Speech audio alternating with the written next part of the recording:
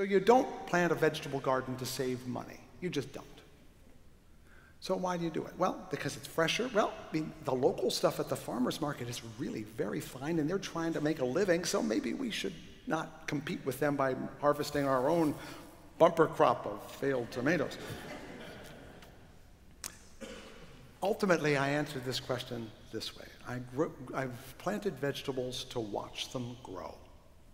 I hope to eat some, but I was not planning on investing a lot of time hoeing and weeding and watering.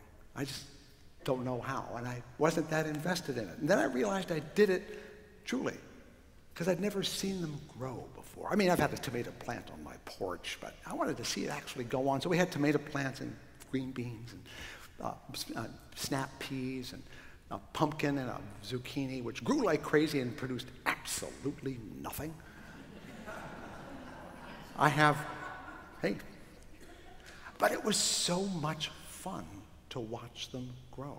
It was fun in the sense that I was saying, it is miraculous to behold.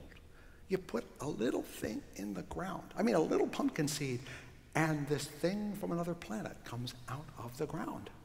And it goes all over the place and has these big, beautiful orange blossoms.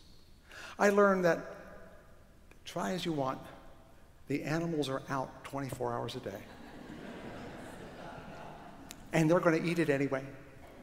And what's more, the water will come when it comes, and it always comes too little or too much. And when I got used to the idea that I couldn't really win nature, that arm wrestling match is stacked from the outset, that I should just sit back and relax. And I actually ate some of my really, truly great tomatoes, and they were very good. And we ate some green beans, and they were tasty. We ate some peas, they were fun. And I do have a pumpkin that has escaped squirrel death so far. And I have the possibility of asparagus in a couple of years, and a couple of old, tired green onions that I should plant. What I came away with is the marvel of all this life happening around me. Watching it happen, taking it in, and yes, sharing it with the squirrels and the bees and the ants and the blight. Because they all live. I felt like the whole world was right there in front of me, and all I had was a front row seat, and I got to eat along with it. like going to the movies and getting free popcorn. It was marvelous. The reason I'm telling you this story is because I'm telling you this week about growing your soul. Last week I talked about freeing your mind and how that was one of three things liberal religion is committed to, three the threefold mission of liberal religion is to free minds, grow souls, and change the world. And I talked about freeing the mind last week because it's the one we all think about because most of us have that struggle sometime in our lives. But I emphasized last week and reiterate today that we need all three. If all you do is free your mind and it doesn't change you, you're just thinking, you're just an ivory tower ponderer writing on blackboards.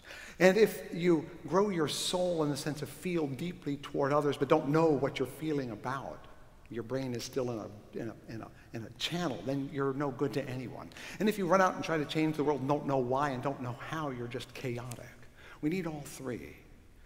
And I want to emphasize that right now because I want to talk about growing the soul. And this one really is the one where I sort old liberals from new liberals. New liberals get this right away. They like soul. They like soulful things, they like soul music. They like all that kind of stuff. Older people, and I'm right on the edge.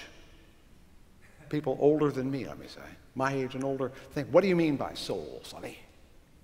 They're worried I'm going to think that you have something in your brain kind of way inside your pituitary that when you die sneaks out your nostrils or something like that. That's not what I'm talking about here. I'm not talking about something religious in a doctrinal sense. When I talk about growing your soul, I'm talking about your wholeness as a person, your emotions, your thoughts, your feelings, your commitments, the integrity of your whole being. Because if you do nothing but think and do not feel, you're not a whole person. And if you feel and do not think, you're not a whole person. And if you act without either doing either one, you're just a menace. So growing the soul is becoming fully present. And that's why I want to give you a story from Albert Schweitzer. Albert Schweitzer was a, a, theologian first. He wrote a book that set everybody back on their ear called The Quest for the Historical Jesus, in which he pronounced, You can't find him, he's not there. But he decided that was an ivory tower world and he wanted to make a difference. So he took himself out of theology, where he was a professor, and retrained himself as a physician to work in Africa. And one of the things he said, and I'm looking for my reading here because I didn't read it at the outset, is that uh, I was at last in a position to acquire the knowledge I needed in order to feel the firm ground of reality under my feet. You know what he means, right? You do all this ivory tower stuff. You want to feel some facts, get some empirical stuff, some numbers, some stuff you can touch and measure.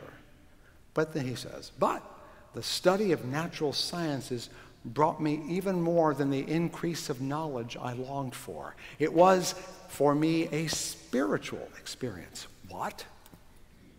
How can science and spirituality, how can science make you more spiritual? Well, he goes on. He says,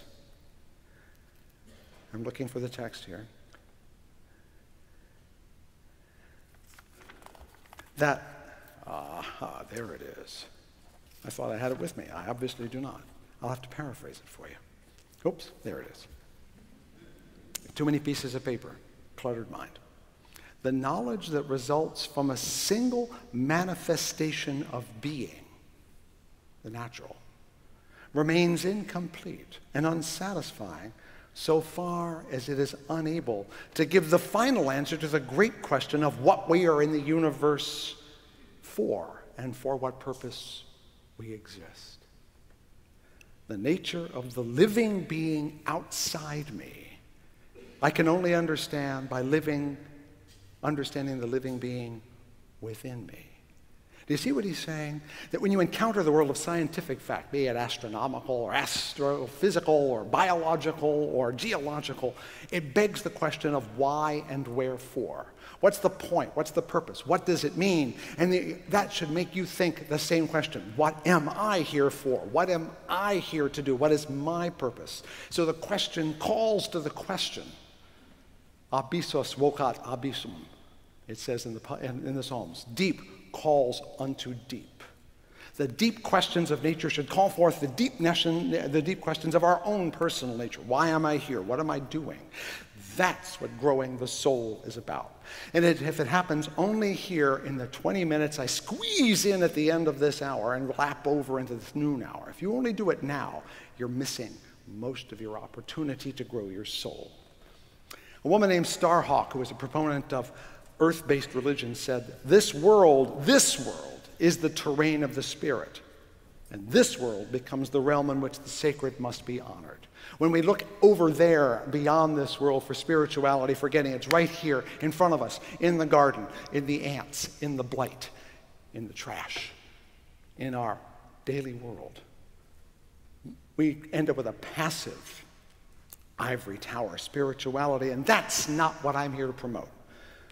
I'm here to say that we cannot grow spiritually if we are disconnected from the world by thinking it's way over there in some holy place, or that the world here is not a spiritual place, that it's merely material to, to plant. If you think your vegetable garden is only to feed you food, you're missing most of its value. We cannot grow spiritually when we are disconnected from the, from the world by ignorance or isolation no matter how comfortable it can be. And it can be quite comfortable. We know plenty of people are quite comfortable in this world, not knowing many things and not worrying about very much. It's a good place to be if you want to be content. And we're all tempted by it. Everyone in this room, you're, myself included. We all want to be content and comfortable. Which is why, friends, it's so hard to grow large liberal churches because very few people get up in the morning and say, oh, I think I'll go to church and let someone whack on me a little bit about how much I don't know. I think I'll get up and be challenged by all that I think is so. Nobody goes out for a beating like that. You just don't. But that's what liberal religion does when it is honest. It causes discontent in your heart. It causes dissonance in your mind. It causes discomfort in your body because it asks elephantine questions.